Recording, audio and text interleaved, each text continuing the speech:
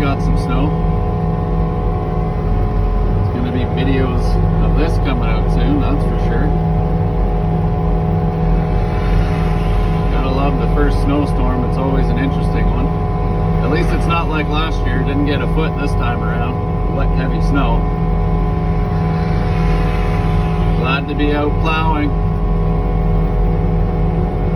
Happy Thanksgiving to all you Americans. I know it was a few days ago, but happy Thanksgiving.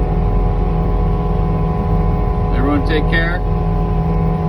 Stay tuned for the videos.